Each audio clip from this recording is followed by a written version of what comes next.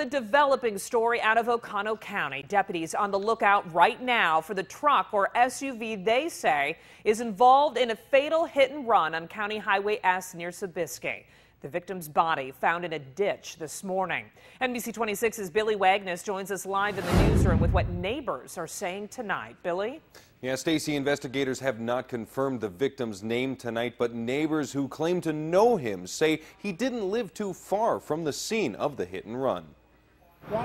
Tonight, Oconto County Sheriff's investigators going door to door in Sobieski. Somebody hit him must have left the scene. Telling people to look for a light colored GMC pickup truck or SUV, a 2002 to 2006 model like this Sierra with a damaged passenger side headlight and missing passenger side mirror. They figured it was a pickup truck with a mirror. They found part of a mirror. Meanwhile, at the Old Crow Bar in Sobieski, Were they drinking? Who knows? regulars like Ed Borzik, who lives just down the road, are left with questions of their own. You hit somebody, don't leave the scene.